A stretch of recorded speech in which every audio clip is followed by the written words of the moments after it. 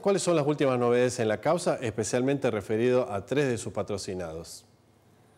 Exactamente, bueno, eh, como vos bien lo decís, eh, yo represento a tres de los acusados, de los imputados en esta, en esta causa, en esta investigación. Em, es así que al día de hoy, eh, desde mi estudio jurídico y desde mi em, defensa técnica, si se puede llamar de alguna manera, avanzó la investigación por cuanto pude adquirir cámaras de seguridad eh, que demuestran en diferentes horarios qué es lo que eh, algunos de mis clientes se encontraba eh, realizando, más allá de casi 30 declaraciones testimoniales a las que pude tener acceso, que fueron tomadas por en propia persona en mi estudio y que van a ser aportadas a la Fiscalía para, bueno, para la evaluación y colaborar con la justicia. ¿no?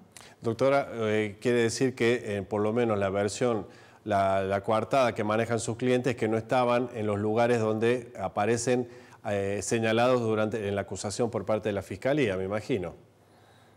Sí, en realidad, eh, digamos, voy a poder contar brevemente algunas cuestiones que ya se dieron a conocer de la causa, porque en, realidad, eh, como todos sabemos, esto es un hecho complicado, es una investigación este, muy compleja, es un, hecho doloroso, entonces eh, lleva eh, su resguardo, la investigación tiene que protegerse algunos datos de la investigación, pero em, para ser más precisa, hay cuestiones que bueno, se dieron a conocer en los medios, producto de la primera audiencia, que son los hechos, según la teoría del caso que tiene la Fiscalía.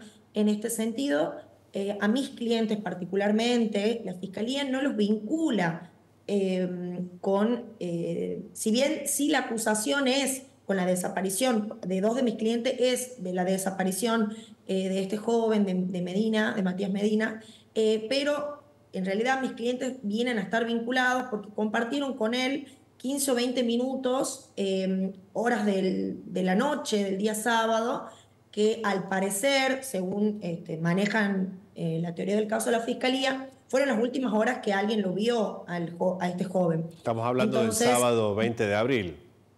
El sábado 20 de abril, exactamente. Entonces, a raíz de eso, eh, mis clientes eh, se presentaron de manera voluntaria ante la fiscalía, en realidad ante el personal de la brigada, a, una vez que se dio a conocer ¿no? que fue pública la desaparición de este joven, se presentaron ante la fiscalía por voluntad propia, a decir, sí, yo estuve eh, vengo a prestar colaboración, yo estuve en tal fecha, el día sábado, mm. en tal horario, eh, con este joven y de ahí no supe más. Y bueno, después obviamente la investigación se disparó por ellos porque en realidad es lo único a lo que se pudo tener en ese momento acceso. Entendemos también el proceder de la fiscalía, pero bueno, eh, la realidad es que hay tres personas, en este caso siete, pero bueno, yo voy a hablar por los tres que represento, que se encuentran privados de su libertad y, y justamente injustamente y, la realidad es que nosotros desde mi estudio jurídico, eh, eh, conmigo a la cabeza, la idea es em, poder aportar todas las evidencias a la fiscalía que demuestren qué hicieron mis clientes, con quiénes estuvieron. Eh, ellos ya declararon en la primera audiencia em, y nosotros vamos a reforzar la verdad de sus dichos ya ante un juez. Ellos ya declararon en la audiencia, en la primera audiencia donde se les formalizaron los cargos, contaron donde ellos estuvieron antes, durante y después. Esto va a ser ampliado por esta defensa y también vamos a acompañar las pruebas tanto en cámaras de seguridad como casi 30 testimonios que tengo en mi poder para poder acreditar dónde mis clientes estuvieron. ¿no? Bueno, la Fiscalía evaluará y... Ahora, doctora, entiendo la postura, digamos, eh, de usted, pero entiende usted también, y me imagino que sus patrocinados también lo deben entender, el dolor que tiene hoy la familia de Matías Medina de no saber dónde se encuentra.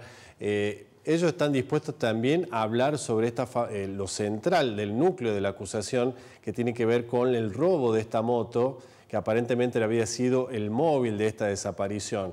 ¿Ellos están en condiciones de aportar información sobre este dato puntual que maneja Fiscalía? Sucede que en realidad acá el único hecho puntual es que hay un joven desaparecido. Eh, yo, mm, la verdad, no te puedo hablar en relación a cuál es el, eh, digamos, la teoría que tiene la fiscalía, si sucedió un robo, si no sucede un robo. Acá eh, la realidad es que hay un joven desaparecido.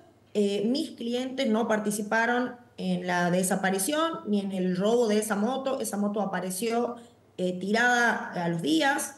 Em, uno de mis clientes fue quien encontró el motovehículo, eh, se presentó ante la fiscalía a las horas que la encontró, eh, dio a conocer dónde estaba y dónde se encontraba. La realidad es que em, no, no esperó a que la justicia descubra que él encontró la moto, digamos. Él fue, se presentó ante la fiscalía y, y aportó los datos de esta moto que se había dado cuenta que era de Matías por las publicaciones en redes sociales eh, que decían, digamos, que había salido este joven en esta moto, y bueno, y daban las características, inclusive la foto. Todo esto fue acreditado ¿Cuándo es la próxima audiencia para, para ir terminando la entrevista? ¿Hasta dónde, eh, qué es lo que ustedes plantean? Están planteando ya, me imagino, la, la excarcelación de los tres eh, patrocinados por usted. Sí.